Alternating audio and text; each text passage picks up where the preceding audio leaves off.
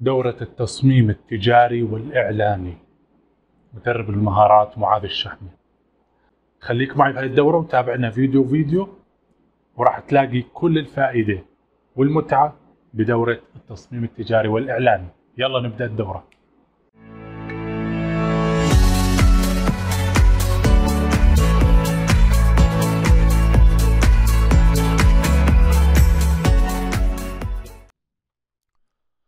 إذا بنيجي لتصميم الأختام أو الستامب. تصميم الأختام شيء مهم للشركات بحيث أنه يصدقوا الشيء اللي ناتج من الشركة أو اللي بتوافق عليه الشركة. الختم شيء ضروري يعني. تصميم الأختام نحن بنرجع في أشياء ضرورية بتصميم الختم. مهمة أنك تكون يعني حاطها براسك. اللي تكلمنا عنها بالوزن البصري سابقا. إضافة للنسبة الذهبية الفيبوناتشي إنه تكون مطبقة بالشعار أو ممكن يكون يعني الختم ممكن يكون فيه شعار بس لحاله وممكن يكون كمان الشعار مضاف إليه مثلا رقم الشركة أو إيميل الشركة أو معلومات يعني عن الشركة معلومات اتصال أيا كان. طبعا في عندي كمان بدنا نراعي بتصميم الختم أو الأختام كمان نفس الشيء بالكفراج إنه الشيء اللي بدنا نعمل له كفراج أو بالختم إنه يكون لما نكتب خط مثلا كتابة تكست إنه يكون الخط عريض ما يكون رفيع.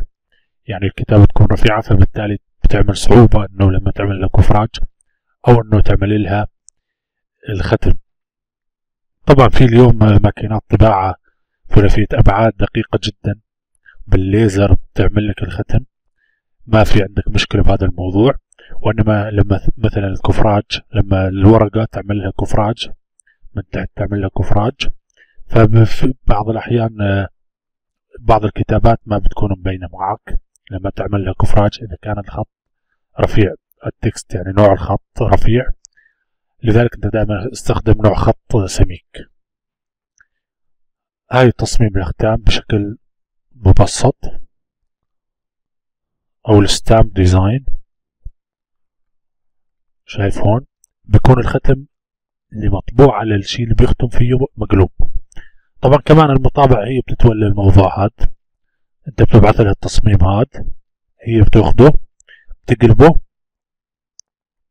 وبتطبعه بالليزر أو حسب شو اللي هي عندها بالطباعة أو الماكينة اللي عندها موجودة. بتطبعه على الشيء اللي بدك إياه يصير ختم. بعدين أنت بتصير تحبر الختم هذا وبتصير بصير عندك ختم ستامب تصميم الأختام.